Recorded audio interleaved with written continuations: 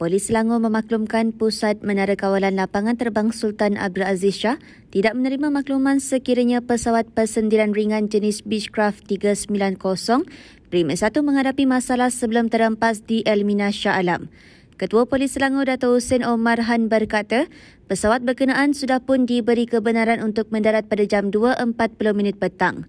Menurut Hussein, komunikasi antara pesawat dan menara kawalan dilaporkan terputus sebelum dikesan terempas di Elmina berhampiran susur keluar lebuh raya Gatri.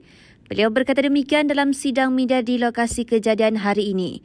Katanya pada masa ini siasatan lanjut sedang dijalankan oleh pihak yang berkaitan mengenai perkara itu.